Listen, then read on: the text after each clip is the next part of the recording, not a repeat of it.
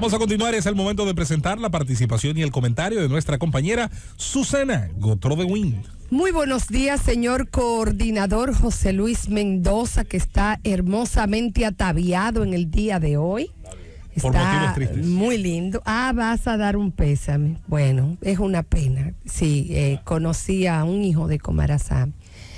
Eh, mi abrazo para esa familia mm, luminosa, ¿verdad? Que son los Comarazán. Comarazán. Eh, bienvenido eh, Rodríguez Padre, buenos días.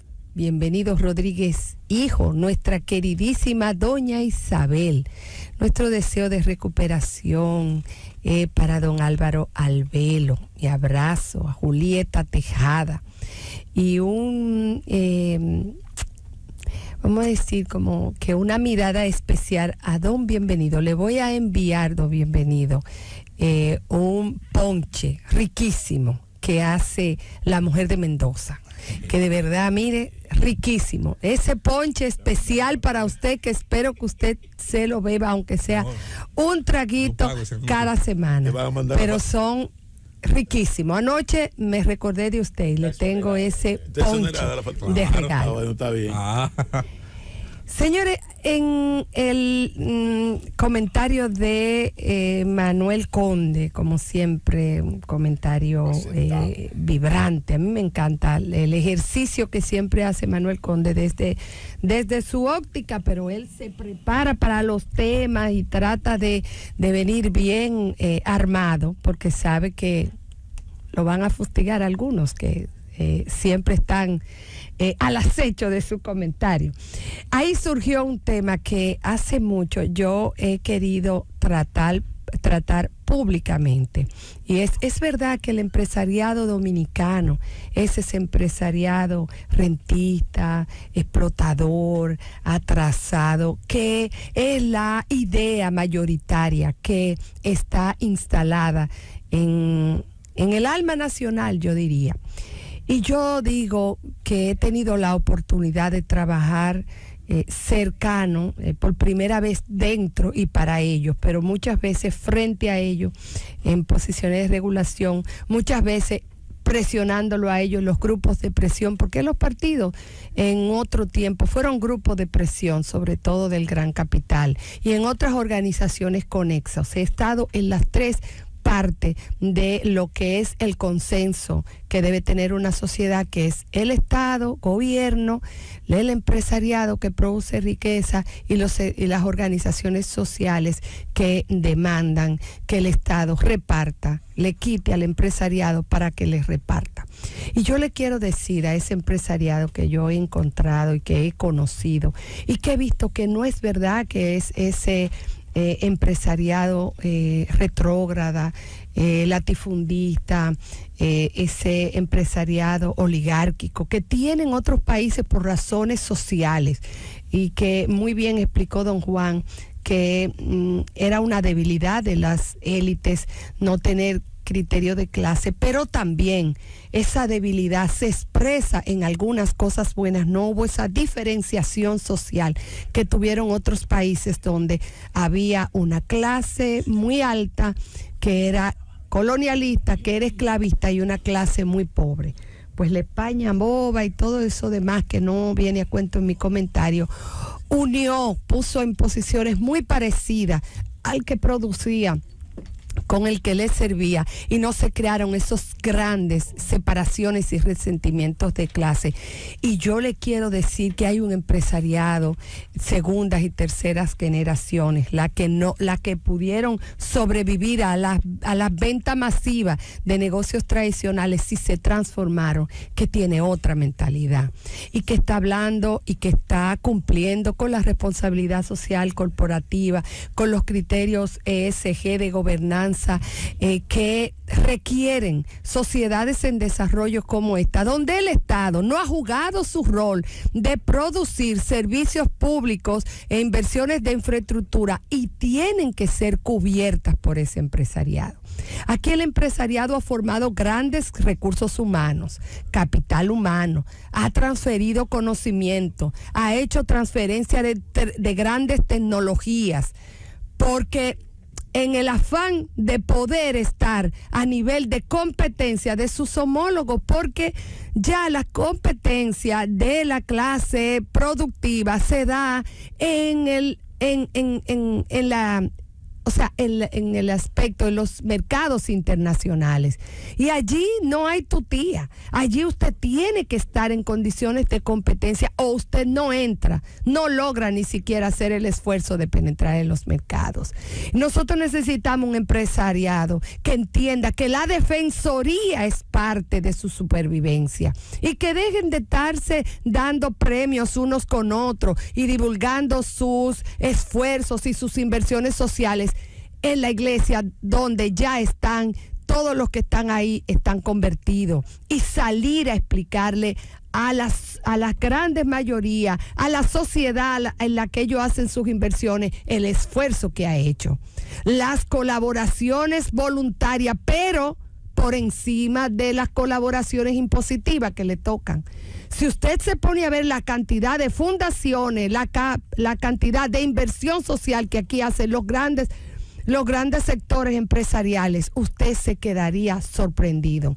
¿Que lo hacen por gobernanza? Sí, porque aquí tenemos una clase política que lamentablemente juega esos discursos de vez en vez y crea resentimientos, crea expectativas en la población en contra de un sector productivo, que es después el que le saca la castaña del fuego. O aquí, aquí ha pasado una reforma una reforma institucional que no haya sido no solamente con la colaboración y la buena fe del empresariado, sino con el protagonismo del empresariado.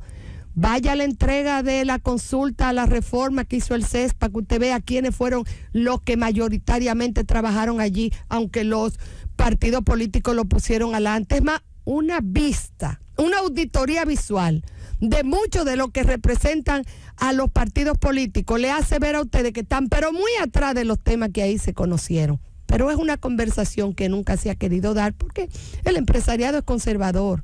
Pero llegó la hora de los hornos. Aquí se está alimentando una luchita de clase por debajo y, un, y unos aspectos de insatisfacción general que, la apunta, que apunta contra ellos. Entonces, en vez de ellos tratar de mantenerse detrás, tratando de negociar algunos aspectos individuales, tienen que pensar como clase y salir a señalar cuántas inversiones tienen ellos que hacer sobre costos, señores. ¿En qué? ¿Tú sabes cuántas empresas han tenido que proveer el transporte de sus de sus empleados para asegurar que sus empleados puedan cumplir con las jornadas de trabajo? porque no hay un sistema de transporte colectivo eficiente. Ni hablar de la generación de energía. Aquí el empresariado tiene que auxiliar al gobierno en la provisión de energía. De sus instalaciones y de sus inversiones que han tenido que hacer a sus expensas. Porque el sistema no puede garantizar ni la continuidad ni la calidad que requieren sus líneas de producción. Y al que se le jode una máquina de esa, sabe que cuando viene a ver en dos paradas de su línea de producción continua, pierden ellos la inversión de un de, media inversión de una central. Aquí hay que hablar de esos temas, que hay que hablar que también hasta las ventajas que puede tener el empresariado son por debilidades de las instituciones públicas que deben de fiscalizar, de regular, de darle un trato igualitario Exactamente. Eh, eh, o a uno o a otro, o por dejadez en el sistema de normas. Hasta eso que puede privilegiar a uno o dos, pero perjudica a otros, es una debilidad del gobierno que no se quiere reconocer. Entonces el empresariado tiene que salir a socializar sus aportes y tiene que explicarlo como una forma de legitimarse y tiene que exigirle al Estado que juegue su rol diferenciador cuando autoriza una actividad. Todas esas agencias que intervienen, son muchas, señores, la que inclusive el adiestramiento, la capacitación y la modernización para hacer su trabajo de fiscalización y de intervención ha sido pagada por el empresariado dominicano. ¿Por qué? Porque como afuera, eso tiene un valor, la calidad, por ejemplo, de las aduanas, la calidad de la Dirección General de Impuesto Interno, la, de la tesorería, son indicadores para demostrar que esos sectores están siendo aplicado el estándar de supervisión y control que requieren, han tenido que invertir o han tenido que hacer alianza con el Estado. Entonces no puede la clase política alimentar ese discurso o simplemente mantenerse indiferente cuando vienen esos reclamos contra el que produce un peso Producir un solo empleo aquí es un sacrificio muy grande. Y no lo hablo solamente a los sectores industriales, lo hablo a los que hacen servicio. Es más, lo hago, lo hablo a los que construyen democracia. Los medios de comunicación, aquí se cree que los medios de comunicación están nadando en oro y no es verdad. Es cada día es un sacrificio más grande mantener un contenido de calidad frente al criterio de, de de cosas insulsas, de rastrería, que venden y se colocan fácilmente y de morbo. Es un sobreesfuerzo que implica una vocación empresarial y una responsabilidad social. Mantener programas de contenido y de grandes profesionales, porque si no, cuando tú haces la balanza, es más fácil tú poner un mercado de rastrerías ahí con dos gente que no estudió ni nada de esa vaina y que un día va a hablar de esto, un día va a hablar de lo otro y mantiene ese discurso. Por eso a ese empresariado que muchas veces eh, se arrodilla frente a a esta descomposición social, yo le digo, eso amenaza la estabilidad, el crecimiento y la actitud de demanda de grandes bienes y servicios de calidad que ustedes que ustedes son los que lo fabrican. Ustedes tienen que trabajar también en la recomposición y en la estabilidad social, en la sanidad mental de los dominicanos, porque toda esa ola de depravación, de,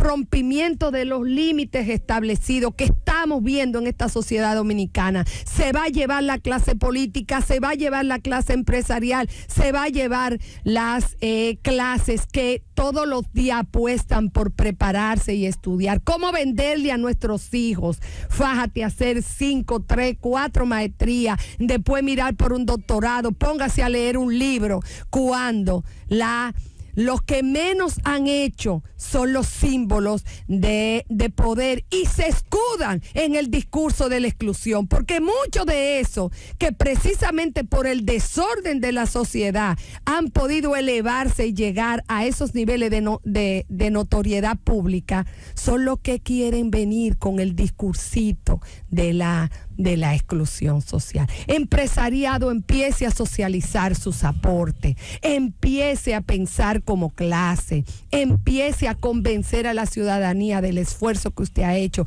y vuelve a relanzar su imagen de clase social, pero también de clase económica moderna, que piensa en sostenibilidad, en cuidado de medio ambiente, en gobernanza, en mejores condiciones de vida para sus eh, las comunidades alrededor de sus explotaciones. Piensen como clase, porque el discurso se lo puede cada vez llevar más y cada vez hundir más en la imagen que ustedes necesitan dar a la sociedad. Llévatelo, Cundo.